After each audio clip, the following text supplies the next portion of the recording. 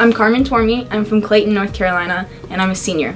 I'm a cutter, so I run around downfield and catch all the frisbees. I chose NC State because of the great engineering program they have, and I knew I wanted to do engineering, so it was the best choice. The time management. We have practice three days a week for frisbee, and then we have weekend tournaments all weekend, so you have to be able to balance schoolwork and, and that work. UNC.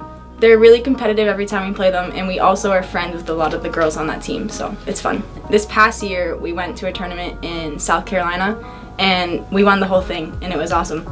An X drill, and it's basically there's two lines, and you throw the frisbee deep, and everybody runs after it and catches it. Battle box, and it's a really small box, and you play defense in it, and it's just really physical. But normally I just laugh the whole time, so it's not super effective.